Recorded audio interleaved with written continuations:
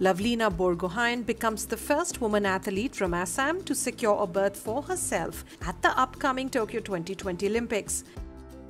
The 23 year old pugilist is also the first female boxer to represent the state in the quadrennial event in Japan. The two time World Championships bronze medalist secured her place at the Summer Games by winning a bronze medal at the 2020 Asia and Oceania Boxing Olympic qualifiers.